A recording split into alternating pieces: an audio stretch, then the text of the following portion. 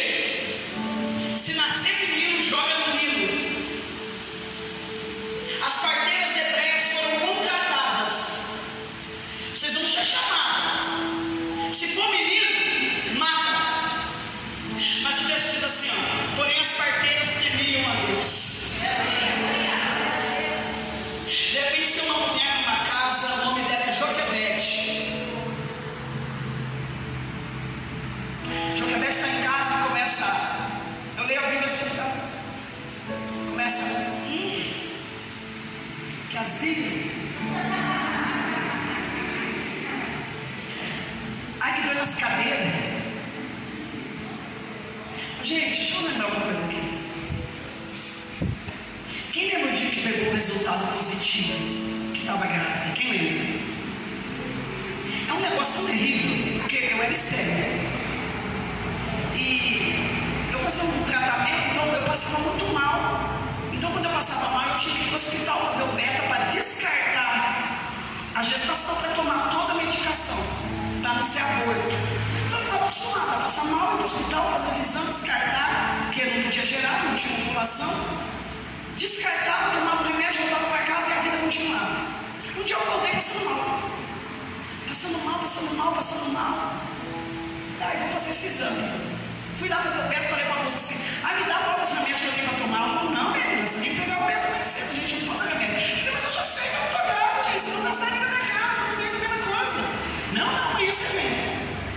Nós vamos dar só um buscopan para dor, todo aquele processo, você vai para casa, remédio mais forte, os remédios desses você não pode tomar. E aí, eu fui embora para casa, passei mal o dia inteiro, quando deu 5 horas da tarde, resolvi. Eu entrei assim, não estava mais passando mal. Entrei assim, normal. Oi, tudo bem? Cadê meu exame? Aí o rapaz foi lá, catou o exame e entregou aberto, assim. Aí eu saí do exame, tchau. Gente, o que é isso aqui? Eu estava passando uma enfermeira. Eu falei, moça, o que significa isso aqui? Ela falou, quem é Marisa? Eu disse. Ela disse, parabéns, mamãe. Eu saí assim.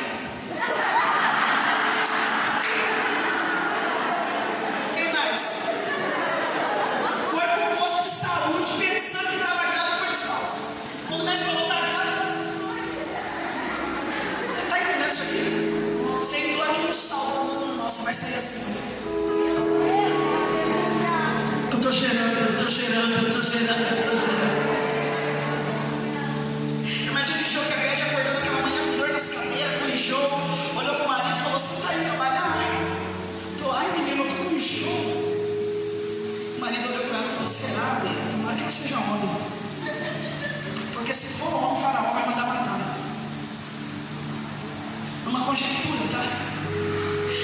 ocasião, naquela época, os homens trabalhavam nas margens do rio, carregando pedra para fazer as estátuas do Egito. E as mulheres trabalhavam em casa, fazendo cestos.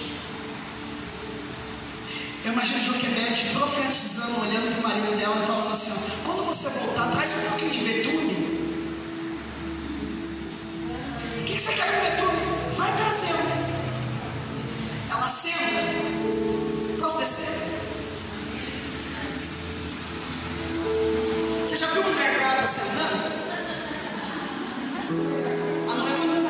Senta assim. A grávida senta assim.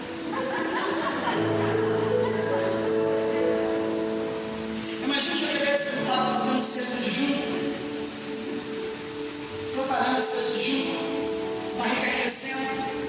Primeiro mês, segundo mês, terceiro mês. Naquela época não tinha ultrassom, não dava para saber o sexo. Pensa aí no coração dela. No terceiro mês, os hormônios da gente ficam mais elevados. Por isso que tem bastante enjoo, aquelas coisas todas. Fico imaginando o enjoo que aumenta, o marido que chega do trabalho olha para ela, tão feliz com a gravidez, mas preocupado com o que vai nascer. Porque se for menino, a sentença é morte. Sexto mês, sétimo mês, oito meses, nove meses, ela começa a sentir dor de parto. Manda chamar as parteiras, chegou a hora de nascer. Quem sabe o marido está do lado de fora, quando nasce a criança, alguém sai correndo e fala para ele baixinho: É menino. A mãe desesperada com a criança no colo, eu vou ter que abrir mão do meu menino. Ela pega o cesto. Lembra do cesto junto? O texto diz que ela calafetou com betume. O betume é o mesmo que Deus mandou